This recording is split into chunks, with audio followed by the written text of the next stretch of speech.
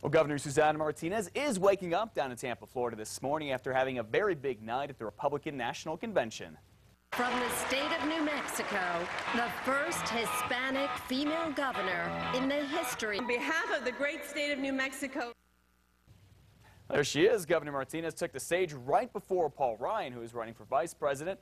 Governor spoke for about 10 minutes. She cracked a few jokes, took a few shots at President Obama, but more importantly, she told people that even though the president has not been a leader in her mind, she has right here in New Mexico, especially with the state's budget. But we came together in a bipartisan manner and turned that deficit into a surplus. And we did it without raising taxes. But that's not the kind of leadership that we're seeing from President Obama. Governor Martinez also talked about her life growing up in El Paso to becoming a district attorney here in New Mexico and eventually the governor. And of course, she urged everyone to vote for Mitt Romney. And it is certainly no secret that Republicans picked Governor Martinez to reach out to Hispanic and female voters, but some of them are saying she doesn't speak for them. A group called Women for Obama rallied in response to the governor's speech last night, saying that supporting Mitt Romney and the Republicans means preventative health care for women will get more expensive. Other Latino groups say that the governor wanting to repeal the law that gives driver's licenses to illegal immigrants is an attack on the Latino community. Now, the governor did not talk about immigration in her speech last night. The Republican Party is trying to paint itself as moderate, as, as pro-women, as pro-Hispanic. Uh, the record speaks for itself. If Romney is elected, there's talk that he could ask Governor Martinez to be in his cabinet, but she has said that she would not take the job if that were the case.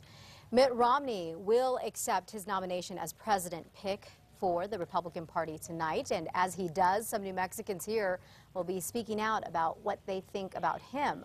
Local advocates, seniors, and families will gather at Comanche and Vassar to express their disapproval of Romney's economic plan for the country. They claim the GOP nominee is, quote, bad for our health and plan to quarantine his office that's located here in Albuquerque today. It all starts at 10 a.m.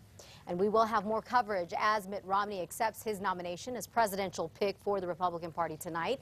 And then next Tuesday, it's the Democrats' turn. The Democratic National Convention gets underway in Charlotte, North Carolina. We will have both events on air and online at krqe.com.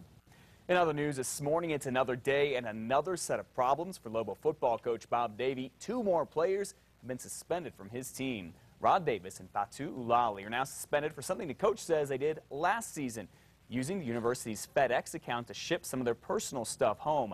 That is against the NCAA rules, so now Davis is suspended for two games and Ulali for four. When I came into this, my eyes were wide open. That's not just at the University of New Mexico. Um, that's any place a new head coach comes in. A new head coach comes in for a reason. In fact, I went through the whole spring where I said to our staff every day I was surprised that there weren't really more issues. Coach Davie also suspended two other players earlier this week after they got arrested last weekend. And when Bob Davie became the head football coach of the Lobos, he vowed to clean up the program both on and off the field. Besides players dealing, getting in trouble, Coach Davie is trying to overcome the Lobos' 3 and 33 record the past three years. Plus, he's trying to get more people into the stands here. As of yesterday, UNM has sold just 18,000 tickets for Saturday's game against Southern. This morning, police are investigating a child abuse case that has a young girl fighting for her life.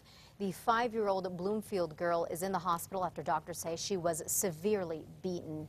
Her father, Daniel Garcia, is locked up, charged with abusing her.